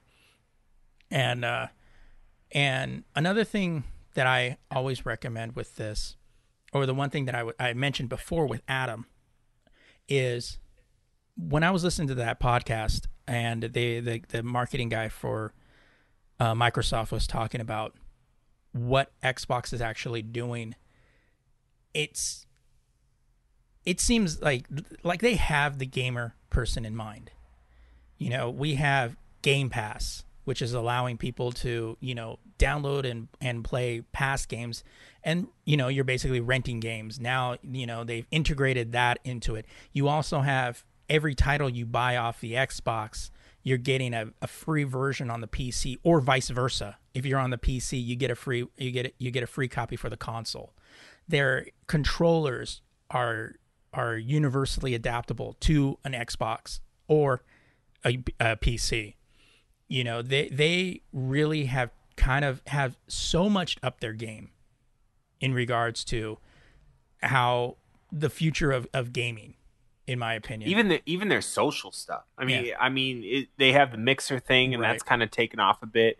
And then um, you just their their latest update for their um OS is just sexy. Yeah. Like it's just organized and just I fucking hate the PlayStation ribbon. I know it's a I know it's a personal preference, but fuck. Yeah. Like I'm so sick of that disorganized jumble mess that is the PlayStation ribbon. right. Like I just can't stand it anymore. And you know, and then you know, if you have a 4K television, it's it's going it's it is one of those that you can totally see like the 4K difference. Also, the fact that a lot of games are starting to get that that um, 4K upgrade, and you download them, they're going to be able to have that. Again, we're also dealing with backwards compatibility that comes with the Xbox One X You're dealing with everything. You can play anything PlayStation 1, Xbox 360. Now we're going to get the original Xbox games. I mean, it, it, you really can't beat that. People can sit there and say that the PlayStation, you know, is a is a great console, and it is in its own right. It is a great console. However, they are lacking. I mean, they have a PlayStation Now, which pretty much ma- mainly means you can either play PlayStation 4 and maybe some PlayStation 3 titles. They always say backwards compatibility is such a big issue, but they're also releasing, you know, Ratchet and Clank, you know, uh, the original, you know, Max Payne. They're releasing those games, so it's like it's definitely not an issue for ones they know will um, sell. Right, exactly. It's like it's not an issue, you know, it's it's not an issue, but it is, and so, you know, I just, in my personal opinion, Xbox really has is really kind of taking the market to another level. It, it it's allowing you to just kind of if you really love games, you really like watching movies. I mean, 4K player, all of that. It it really is the best deal you could get. A lot of it's the little things too, mm-hmm. like the Xbox app that you can get on uh, Windows 10 as well on the phone. It's just real crisp. Everything you need is in there. Um, the syncing to the console to use it as a control real quick. I use that shit all the time because my Xbox never turns off. It's like the fucking media mecca of my fucking house, and um, it's connected to everything. Like it's and they even still they have that pass through bit. Yeah. Um, I personally don't have cable or satellite, but I mean, I I do know people that use that, and they say it's great. It's great to have everything through one device. You don't really have to worry about it, you know. And it's it's um, it just Microsoft changed the game a little bit, I think, and, and Sony. Listen, I'm not gonna sit here and say the PlayStation Four sucks dick because it really doesn't. It's it's an okay console, and I know a lot of diehard PlayStation fans out there, but when you when you stack them pound for pound, like the Xbox is a clear clear winner. It's out front, you know. So it's you do what you can. The only thing I think Sony has right now, for me, if I'm looking at it, they do have a couple of exclusive titles um, that are pretty dope. But other than that, I mean, there would be. There, I have a PlayStation 4. I haven't played it in like a year and a half. Like, there's just no point. Yeah. so, um, yeah, that's that's definitely a good pick. Sticking with games, motherfucker. I'm gonna recommend the Switch. I'm gonna recommend the Switch for a couple of reasons. One, I think it's matured enough now. They have some solid titles. Um, it's I think that portable thing is is very interesting, and I see people on the on the train. I see people out and about. They got switches with them. Yeah, you know, and they're playing they're playing these hot fucking titles, man. Super Mario Odyssey, Legend of Zelda: Breath of the Wild, that Mario Kart 8 Deluxe with all the fucking characters. Like, there's so much to do on the Switch right now. Are they a little behind when it comes to um, the online aspect and, and a social community? Yeah, they are, and the apps and stuff. But that's coming. Um, the sales have been super strong. Nintendo hasn't seen success like this since when the Wii re- launched. Right. Um, and they, and also too, big ups to Nintendo. I see them in stock. Yeah. In December, you know, yeah. I was like, come on. I noticed that uh, yesterday. Yeah, uh, Saturday. I went to when I went out. I went to Best Buy, and then I also went to um, Target, and Xbox One X's and play and Nintendo Switches at Christmas time. Right. They had them in stock. I was like, because this guy comes up and you know the shelf's empty right there, and you see, and the guy goes, this guy goes and he goes, "Do you have any switches?" And he goes, "Oh yeah, we have them in the back. We just don't put them out here." and then the guy's, "Oh okay." These people jack them. Oh fuck yeah, dude. but and I and I just think, um, is it is it underpowered compared to the other two? Yeah, it is. Is it fun to play? Fuck yeah, it is. you know, it, it doesn't need. When you're playing Nintendo, Nintendo, you're not necessarily playing for power, right? well, in the '80s, they said you were. Oh yeah. Um, but you also had a but, glove. oh my god, I was at a, a, used bookstore that sells electronics and stuff, and they had the fucking power glove under a case that was locked. I was like, holy shit. Um, shit gets no, real here, they, doesn't it? I mean, the accessories are real. Like you can get carrying cases, all that stuff. The Switch is dope, and I, I think uh, a buddy of mine has it, and um, he'll bring it to work sometimes. You know, especially if we're working weekends or something like that. And um, it's it's just it's it's so interesting that it's dope too. You know what mm-hmm. I mean? Like it, it's you just look at it, you're like, this is some different shit. You know what I mean? Like the, it's something exactly what they did with the Wii when the Wii came out. And I'm not saying the Wii U, the Wii. Right, when the Wii. Wii. came out, you were like, "This is some different shit." Like Yeah. Nintendo's trying something different, and I think that Nintendo's always going to do that. They always want to do something weird. Um, they're the Japan of Japanese games. Truth be told, I was Like, say, does always it even make sense? It doesn't have to because it's Nintendo. right. Um, Splatoon two, other games on there. I mean, it's it's just Skyrim, motherfuckers. You gotta have Skyrim. If you don't have Skyrim, you're not a console at that point. um, no, but I'm definitely suggesting this one. The only negative I would say is the accessory prices are weak. Yeah. Like you want to get controllers and stuff like that, it, it, it can it can run. So it's a little bit of an investment, especially if you have a large family. But um, but it's even cooler too because if you have the dough and you have a large family, you can grab two of these, you know, and they can fucking jam out on the table or whatever. You know, I don't know. I think it's dope. All right. And um yeah, I, I totally agree. I, I want to switch. And Yeah. um it's it looks like just a lot of fun and um I was I was looking at them yesterday and I was like and I was looking at the games cuz they also have a shit ton of games out there for this. I mean, they've they've made such a move that kind of was like 180 from what they did with the Wii U. You know, they they really had no idea what the hell they were doing with the Wii U and they managed to kind of curtail that with the Switch, and I think making it a good item to get for the holidays. And also the I price like- point, three hundred bucks. Right. I feel like the Switch is what they wanted the Wii U to be, Yeah, but they just weren't there yet yeah. in um, technology. So um, my next one, and uh, you know we've we've talked about this in the past. Um, I actually am recommending if you're looking for somebody to get to get a tablet for somebody, I actually recommend an iPad. Um, not not the the 10.5, the iPad Pro or the The 14 inch Yeah. motherfucker. the 83 inch iPad Pro Right. Retina screen that will basically you need to rent. You need to rent an apartment to hold it. right exactly. You need to move out of your house is basically Right. what you need for this. Um, the reason I'm, I'm i have an ipad right now it's not the the current one that came out this year it's the the previous year's model.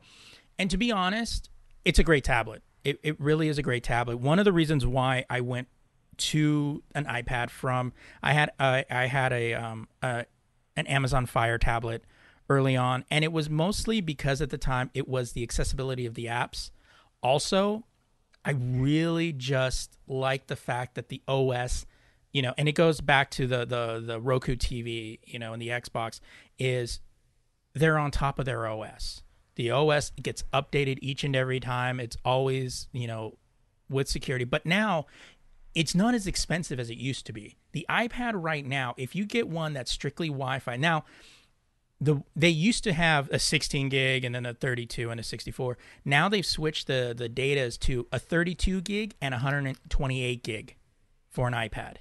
And to be honest, for a tablet, you really don't need it. You you can pretty much do a 32 gig with uh with Cloud Drive, or if you really like watching a lot of video, 128 gig.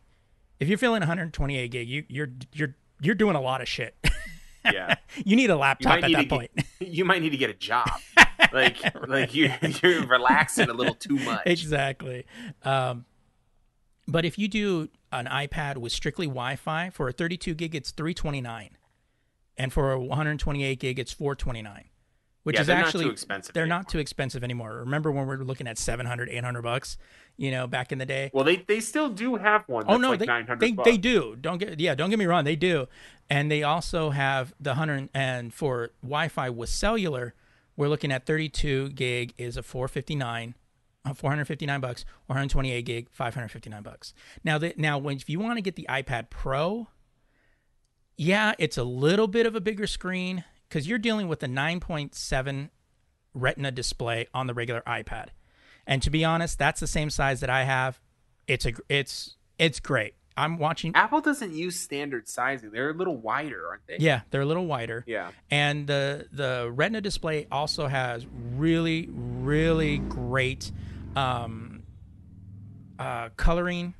It, it really it when you're watching movies, especially if you're reading comics, colors pop on that. And and I, Yeah, the screen is gorgeous. yeah, on w- an when you're looking at those things, oh my god! When I was reading Watchmen on it, I, it was it was like,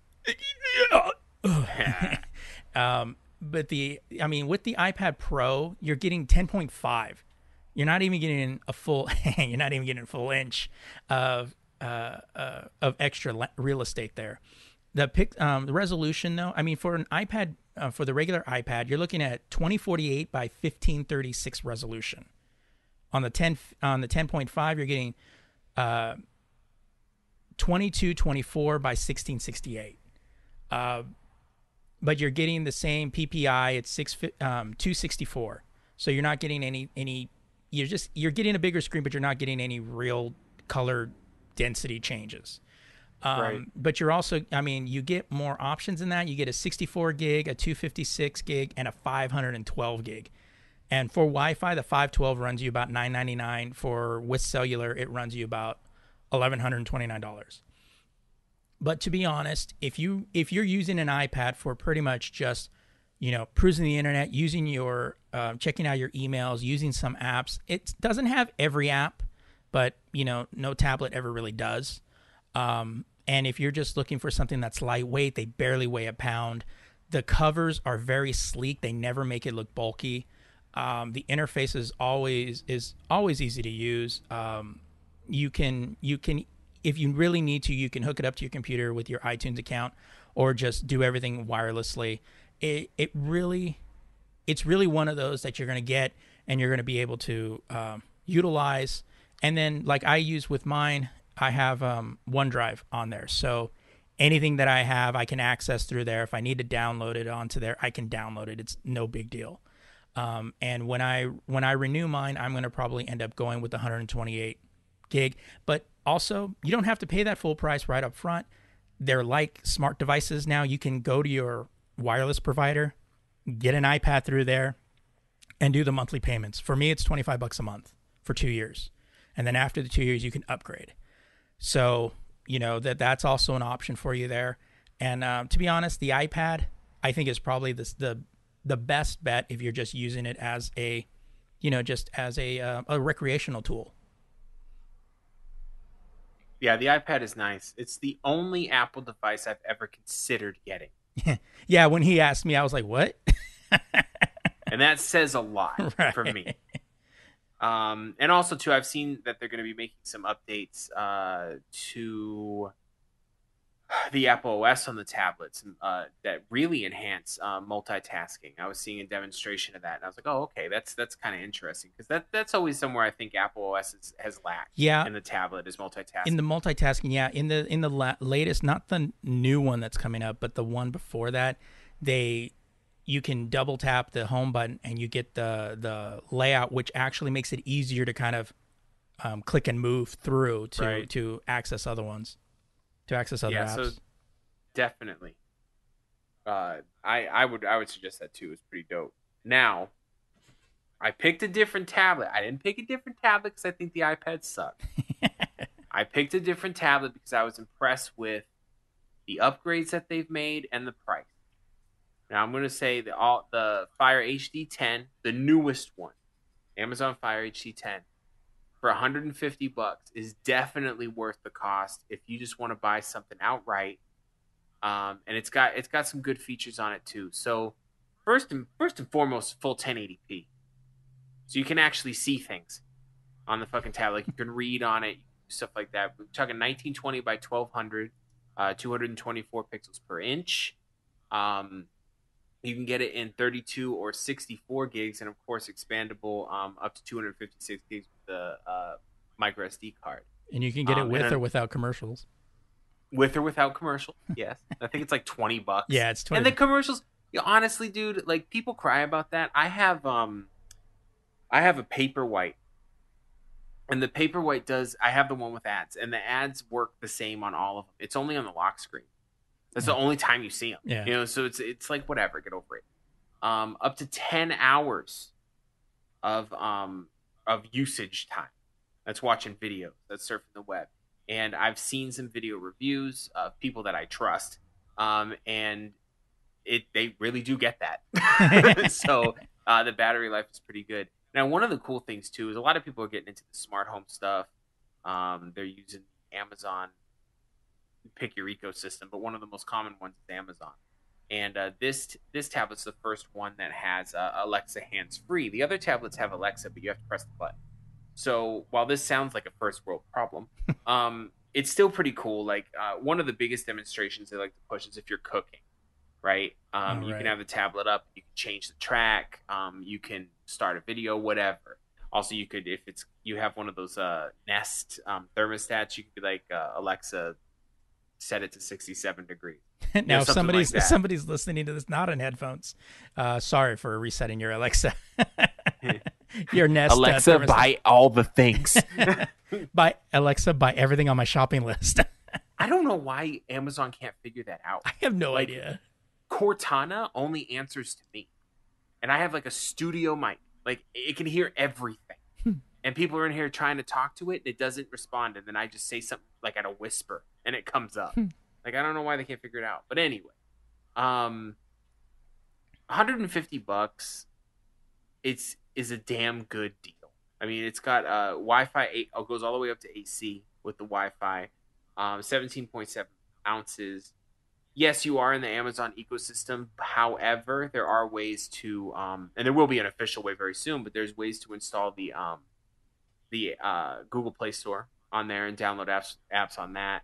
Um, it's definitely a for the price. It's a great great tablet. So the reason why I put this up here, one, there's people that are a little broke and they can't afford uh, an iPad and of course they can get one on payments. That's that's fine. But the big thing for this is for um for kids, for teenagers.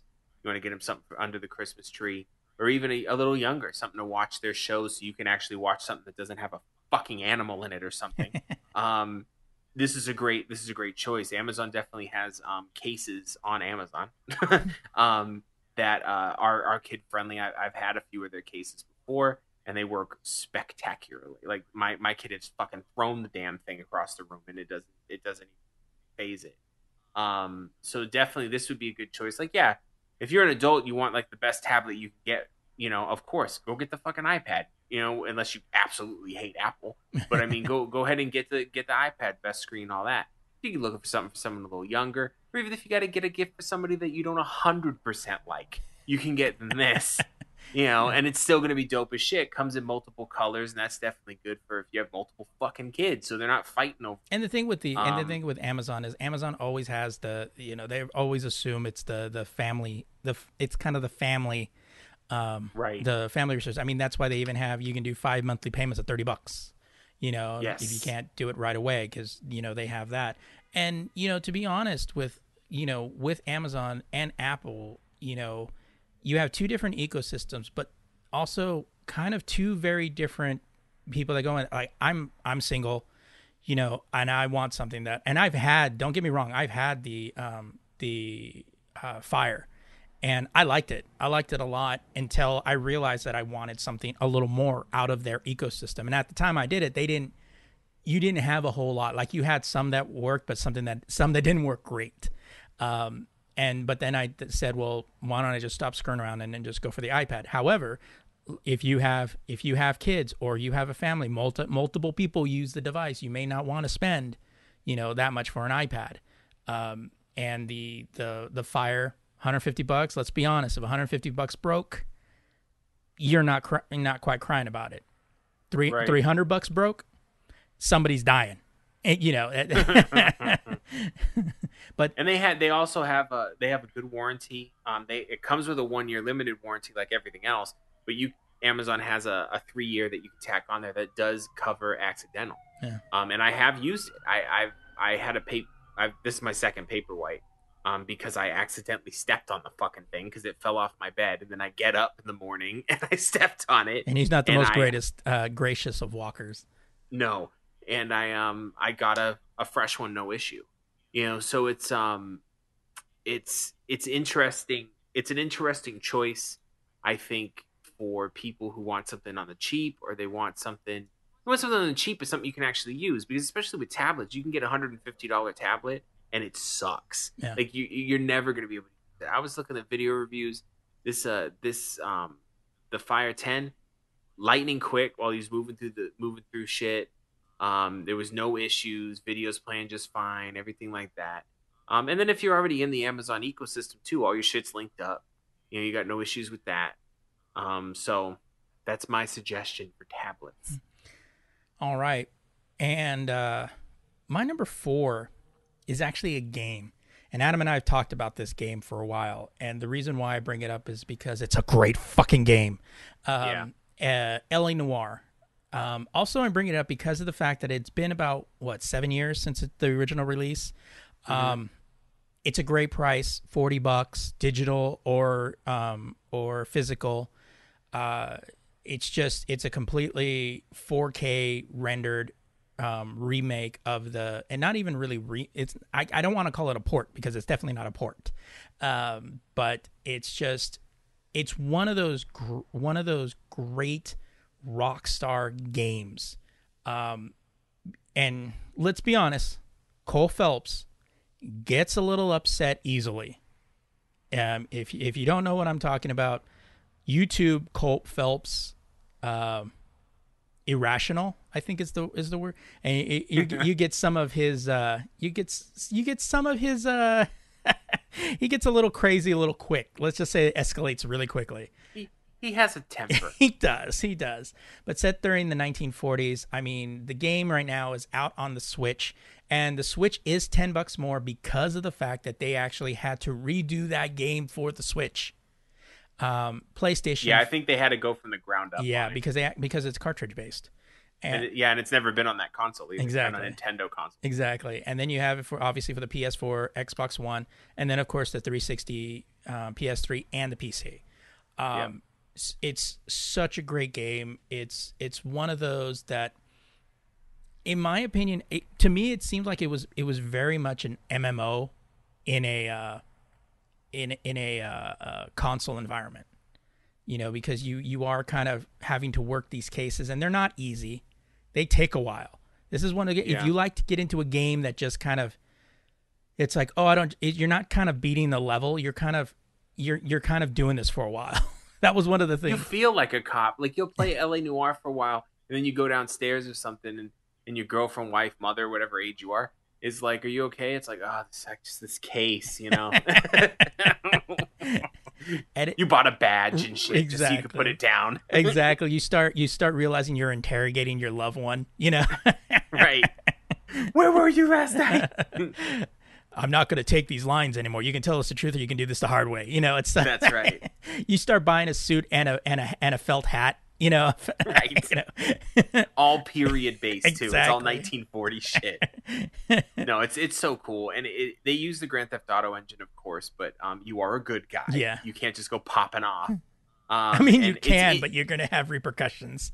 one thing, one thing that I really enjoyed in that game is that so it's the 1940s. You're driving 1940s vehicles, mm-hmm. and they feel like 1940s. Like they're heavy as fuck. There's like no sharp really turns. Feel, There's no sharp right. turns. I remember you, taking out so many light poles. you, you really have to adjust. but um, that game is fucking spectacular, and if you've never played it, you're you really need to get it. Yeah, I'm gonna. This I'm actually gonna be perfect. picking that game up for. Uh, but I, I'm just oh, trying yeah. to decide for which console. I'm probably gonna go with the Xbox. Um, but uh, yeah, I'm. Oh, my decision's already made. I'm gonna get it on the Xbox. Um, but yeah, that I I love that fucking game. You know who actually really liked that game? Um, I had it on the 360 mm-hmm. before I, I got rid of my 360, mm-hmm.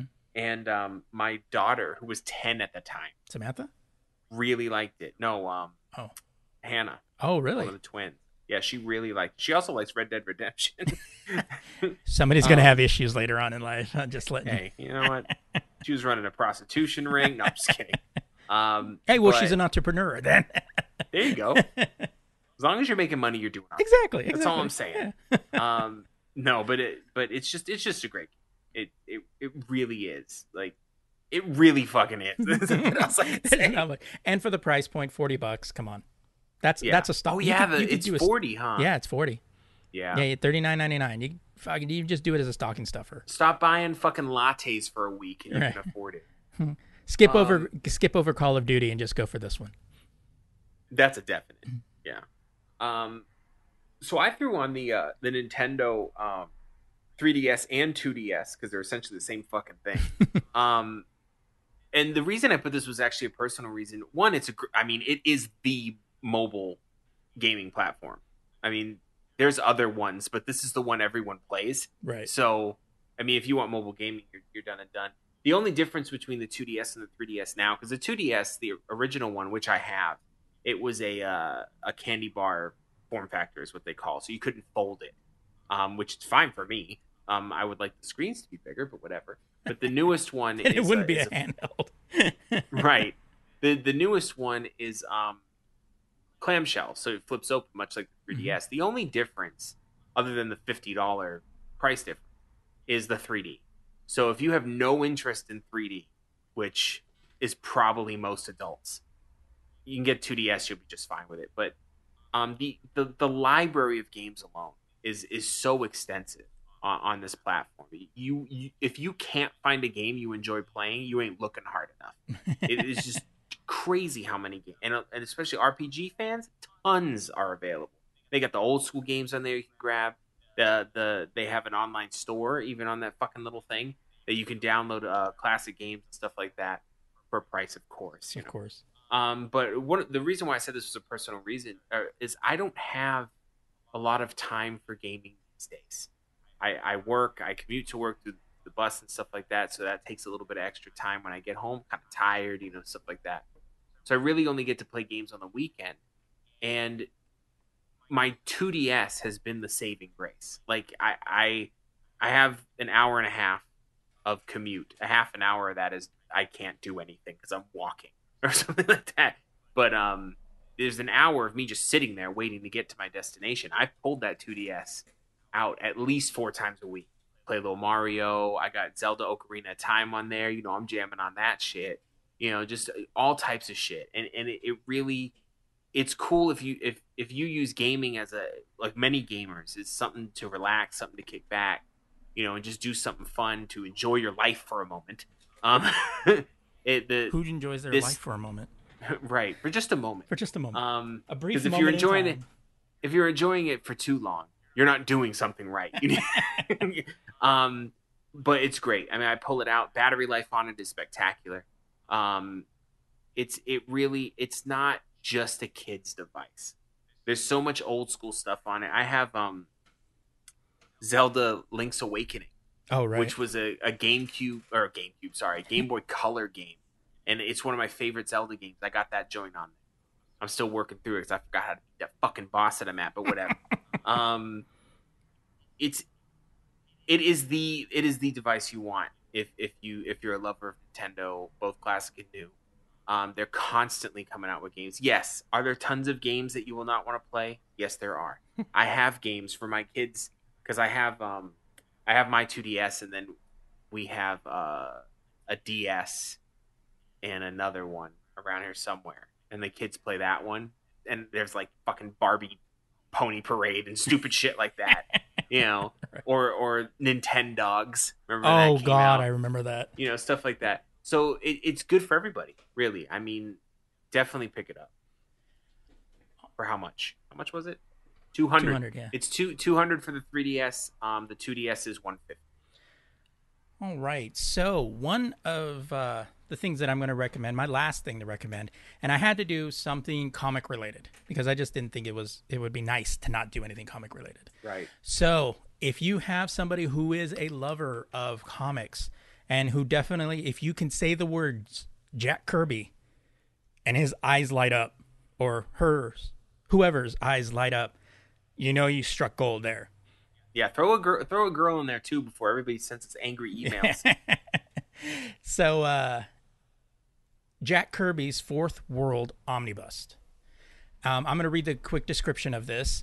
These are the legendary tales written and illustrated by Jack King Kirby that introduce the warring worlds of Apokolips and New Genesis, their rulers, Darkseid and Highfather, and countless heroes and villains, including Orion, Lightray, Caliba, Kalibak, Granny Goodness, and more. Witness the return of Newsboy Legion and the struggle of the new gods and the forever people to stop Darkseid's quest for deadly anti-life equation. This omnibus edition includes Superman's pal Jimmy Olsen, numbers 133 through 139 and 141 through 148. New Gods number one through eleven, Forever People one through eleven, DC graphic novel number four, The Hungry The Hunger Dogs, and a story from New Gods number six in 1984. All of this it goes on sale on the sixth, so essentially later on this week and you can get it through actually go through uh, dccomics.com and you can see it there and it's 450 bucks um, it's it's one of those it's classic Apokolips dark seed you know this is this is something that if he's a com if they're if he i keep saying he because i'm thinking of myself. If if they are a comic book fan and like i said throw out that throw out that bomb. If you ever you know who jack kirby is? And then they their face lights up and they're like oh my god you know? Uh, they you know that then you then you know you're you you're you're in the right area. So that that is my recommendation for for comedy. It's jack kirby wrote and, and illustrated it. I mean it's that's done and done right wrong. there it's done and done right you there. You can't go wrong um mine is also comic related but we're moving into um animated films and i think I, I I don't know what Steve's idea is, but I think that out of all the comic book companies, DC makes the greatest animated. Like they're just so well done. Absolutely. Not not all of them are for children. definitely not. uh, but they're they're definitely um they're definitely set themselves apart from from some of the other ones. I'm not saying Marvel doesn't have good animated movies, but DC's just better. Yeah. oh. talking shit now. Talking shit. Um so my suggestion is a DC Universe 10th anniversary collection. We're talking a collection of 30 movies in this box set. Um, and they're all the shit pretty much. Um, I'm gonna run through the list real quick. Real quick: Superman, Doomsday, Justice League: The New Frontier, Batman, Gotham Knight, Wonder Woman Commemorative Edition, Green Lantern First Flight, Superman, Batman, Public Enemies, Justice League Crisis of Two Earths, Batman Under the Red Hood, Superman, Batman Apocalypse, All Star Superman, Green Lantern Emerald Knights, Batman Year One, Justice League Doom, Superman versus the Elite, The Dark Knight Returns Part 1 and 2, Superman Unbound, Justice League The Flashpoint Paradox, Justice League War, Son of Batman, Batman Assault on Arkham, Justice League Throne of Atlantis, Batman vs. Robin, Justice League God Monsters, Batman Bad Blood, Justice League versus Teen Titans, Batman the Killing Joke, Justice League Dark, Teen Titans, The Judas Contract, and Batman and Harley Quinn. Jesus. um, if you if if you're a DC fan for one, this is a done and done situation. There there really isn't much questioning after that. And also too, we're talking over 20 hours of special features, including over two hours of all new content exclusive collectible coins, and exclusive 40 page adult coloring book featuring key art from all DC Universe animated movies. Um, this this is a DC fan's fucking wet dream. If someone got this for me, I would blow them. Like I, I, I just it's ridiculous how fucking. Well, then I'm gonna have a good Christmas. and it's on sale too. Um, its list price is three hundred on Amazon, but right now you can grab it for almost half off, one hundred and seventy nine dollars and sixty eight cents. Um, it's forty percent off. So you're saving 120 bucks. If, if you got a DC fan in, in, in your house or in your family or a homie or whatever, and you wanna you wanna blow their fucking mind, this is definitely something to get, and they will love you, and they will fucking listen. If anyone wants to buy this for me, that you know the lazygeeks.com. you... well, it's funny because no. if you guys, if you, um, for those longtime listeners, you guys will know that we did mention this um, so, we did a couple months ago. Uh, look it up. We know you won't, but um, but yeah, it's it's definitely a really really uh, cool set. Um, I yeah, it, it's one of those where you're just like, oh shit, like I I even want this. Like it's this set is so large. As big of a DC fan as I am, there's movies in here I haven't seen. Oh yeah, not many, not many, but there's some in here that I haven't seen. Superman Unbound. I haven't seen um Flashpoint Paradox. No, I was playing. You know, I see Flashpoint Paradox. I haven't seen some of the Wonder Woman joints. Um, New Frontier. I haven't seen that one. Uh, I saw New I Frontier. I like that one. Did you? Mm-hmm. I haven't seen. It was on um, Netflix for a while. It was another Thrones of Atlantis. I haven't seen that one. Oh no, I I've missed that one. But there was there's some of the I mean, Assault on Arkham dope as fuck. um, Killing Joke was cool after the first twenty minutes. right. Um, Oh, I haven't seen Teen Titans either because I'm not too. Batman and Harley Quinn. Um, I have to. Say, that was goofy. It was goofy. It was goofy. I, I wasn't really. I mean, I like Melissa Rauch You know, uh, she played Bernadette on um, on uh, Big Bang Theory. I like her, but I don't know that voice just didn't didn't fit for Harley. It did, yeah. I mean, I enjoyed. I guess I'm a Tara 'cause- Strong fan. yeah, me too. I don't know why they didn't get her to do it. I don't know. Um, I I enjoyed the movie Batman and Harley Quinn only because it didn't take itself seriously Yeah, because it was silly. yeah. Like there was a scene in it where uh, a bunch of bad guys want to fight Batman, and he drinks a glass of milk first, all fucking hardcore, like just real silly shit. You know, and if it w- if it tried to be too serious, I would have I would have fucking hung it up. But it was it was pretty dope. Um, but there's some fucking Doomsday, Superman Doomsday, Yeah. bruh. If you haven't seen these flicks, step your fucking game up. All right. So hopefully that helped uh, that helped out your uh, your holiday shopping for this this year. Um, we knew this episode was going to run long because of that, because we were going to take times. Adam wanted to do ten, and I'm I did because I'm an idiot. and I was like, I think five is going to be good. and he's like, Oh yeah, if we did ten, this thing's going to be like eight hours long. And I was like, Yeah. with director's commentary. Uh, but um, but yeah, so uh, hopefully uh, we helped out you guys with some some ideas, or at least put you on the right path. Um, so with that, I guess we can jump right into our oh, what the actual fuck. So mine is seriously what the actual fuck. Um, this comes from Ars Technica, and I'm just going to jump right into the article. An explosive epidemic of HIV/AIDS has gripped Russia in recent years, partly with the strength of the anti Western conspiracy theories online that promote the idea that the virus is simply a myth.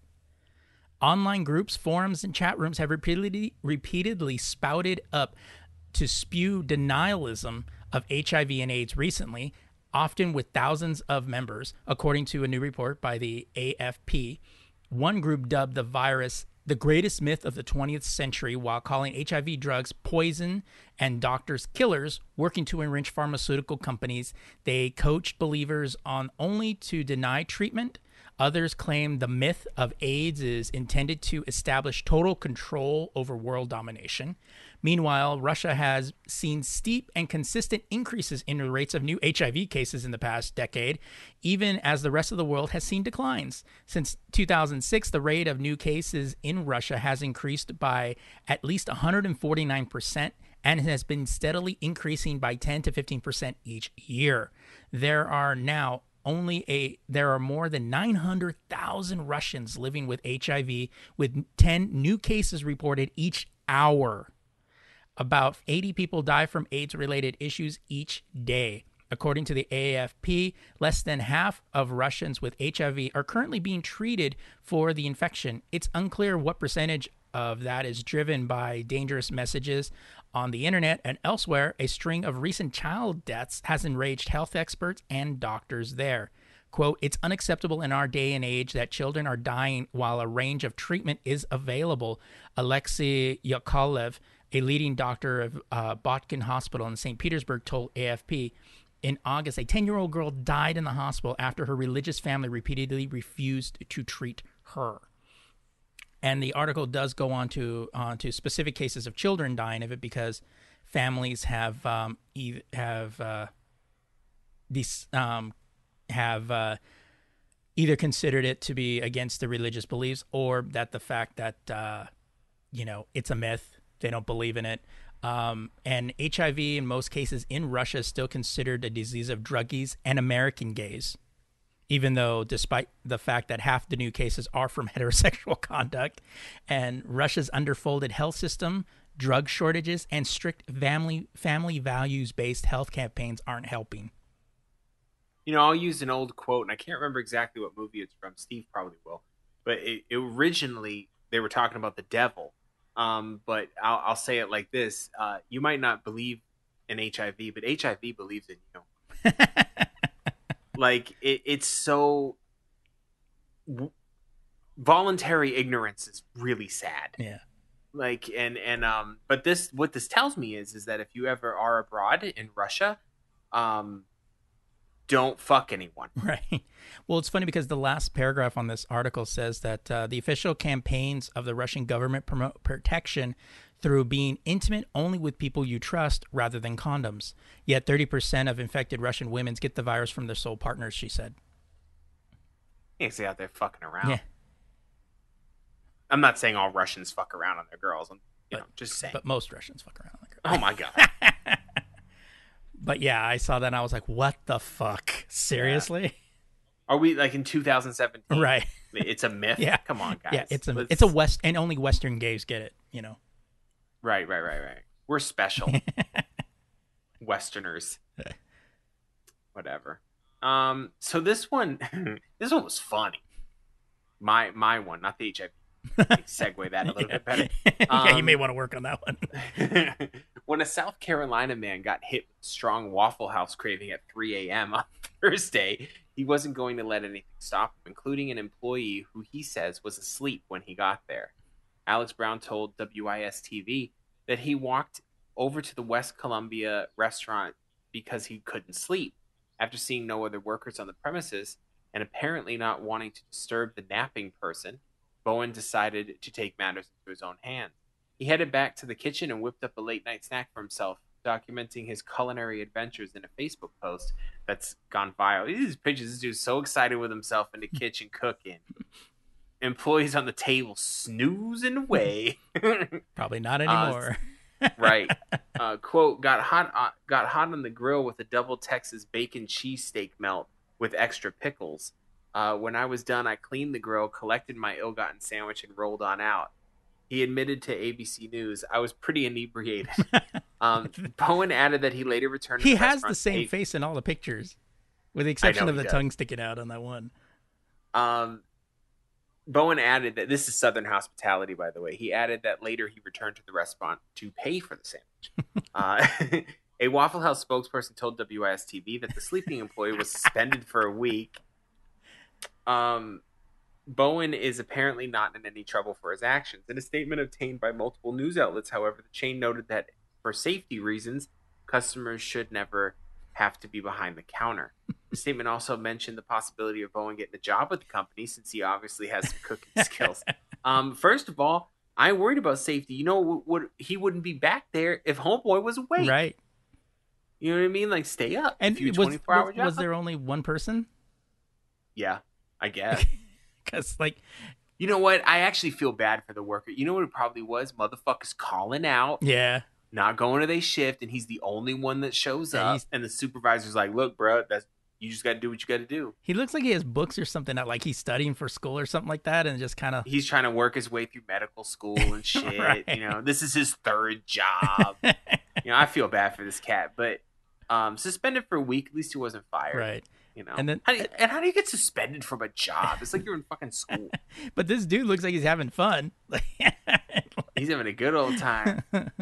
And that was that was cool that he went back to pay for Yeah. it. Like most well, people he probably like, "Fuck he, he you." probably uh he probably checked out his uh Facebook and went like, "Oh shit, Oh. did I pay? I better go back there and pay." That's what, ha- that's what happens when you drunk Facebook. Uh, He looks drunk too. Yeah. You got them sleepy eyes, like, "Bruh, I'm gonna make this sandwich." but the- maybe all he made was probably like grilled cheese. no, he made. I I already said it. no, I'm kidding. I know, I know. No, no, no, no, no, no. No, because like you don't like you see a partial of what he made, but you don't see like like he didn't do a true Yeah. Instagram post. say- Like He did say he he made this complicated thing. It was probably like two fucking burnt pieces of bacon and some turkey. you're like, oh, this looks good. I'll throw that in there. Oh, this one with that. Ah, it, it, what- it couldn't hurt. throw that in there. Uh, but that's it. yeah. That's it for our show, guys.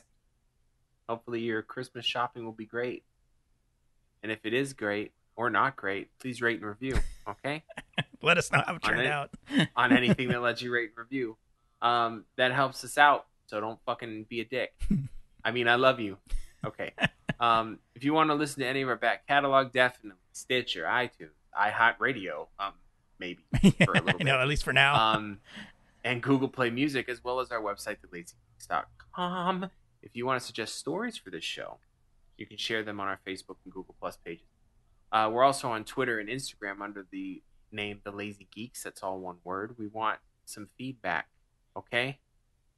So drop it on the website, lazygeeks.com, or send it to our mailbag at the lazygeeksnetwork at gmail.com. And you can find me on the internet on Twitter at a middle aged geek, Instagram middle age underscore geek. You can check out my other podcast every Wednesday, the Extended Play Movie Podcast. This week we kick off our uh, Christmas run, which is three episodes, and then we end it with our New Year's Eve. Uh, this week's movie, the original Lethal Weapon from 1987. And uh, you can grab that on iTunes, Stitcher, and Google Play Music. Follow my Facebook page, facebook.com slash The Middle Age Geek. And you can check out my other musings at themiddleagegeek.com.